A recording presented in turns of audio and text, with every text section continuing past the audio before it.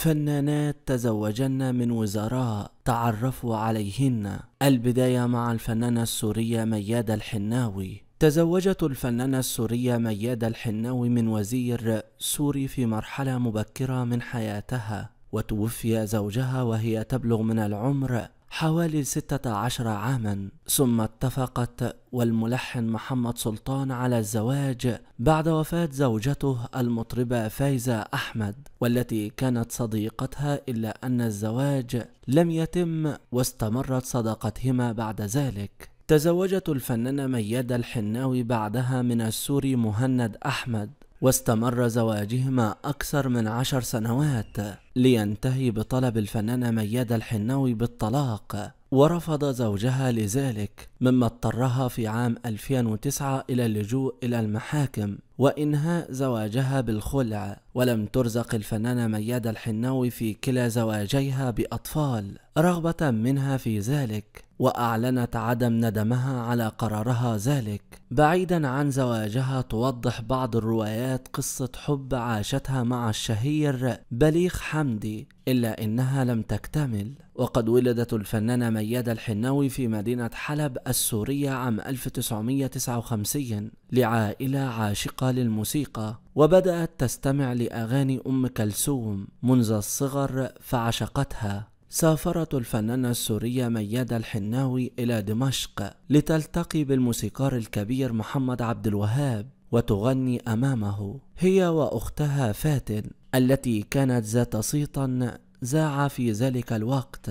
كان الموسيقار محمد عبد الوهاب صديق زوجها الوزير. وفي مصيف بلودان غنت الفنانة ميادة الحناوي وأختها فاتن أمام الموسيقار الكبير محمد عبد الوهاب ففتن بصوتها وهي تغني لسه فاكر وكانت تبلغ إنذاك حوالي السابعة عشر عاما فقط. الفنانة السورية ديما قندلفت. في عام 2015 احتفلت الممثلة السورية ديما قندلفت بزواجها من وزير الاقتصاد السوري همام الجزائري. وقد احتفلت الفنانة السورية ديما قندلفت بحفل زفافها بإحدى فنادق دمشق الكبرى واقتصر الحضور على دائرة ضيقة من المقربين وكانت ديما وهمام يتكتمان على تفاصيل قصة حبهما بسبب الوضع الأمني في سوريا وأيضا تكتما على موعد الحفل وأبلغ بهما المدعوون وطالبوهم بالحفاظ على السرية. وحضر من الفنانين كل من الفنانة شكران مرتجي وميسون أبو أسعد والمخرج باسل الخطيب. الفنانة السورية ديما قندلفت تزوجت وهي بعمر الستة وثلاثين عاما وقد تعرفت على زوجها الذي كان يبلغ من العمر 38 عاما بعد التحاقها منذ فترة قصيرة بكلية الاقتصاد ويحاضر بها همام. وقد تم تعيين همام الجزائري وزيرا عام 2014 بعد أن كان مستشارا اقتصاديا لمؤسسات استشارية خاصة. وشغل سابقا منصب رئيس هيئة التخطيط في الدولة عام 2013 وهو حاصل على إجازة في الاقتصاد من جامعة دمشق عام 1998 كما إنه حاصل على ماجستير في اقتصاديات التنمية عام 2004 ودكتوراه في الاقتصاد من جامعة لندن عام 2008 والفنانة ديما قندلفت عمرها 45 عاما وهي تمتلك صوتا عذبا مما جعلها تبدأ حياتها الفنية كمغنية في فرقة جوكا الفرح. ثم انتقلت إلى فرقة قوس قزح. ظهر أول عمل لها مع بشار زرقان. في جدارية لمحمود درويش انضمت بعدها لفرقة سفر وأقاموا حفلا في لبنان. الفنانة أناهيد فياض. الفنانة الفلسطينية أناهيد فياض التي تحسب على الفن السوري.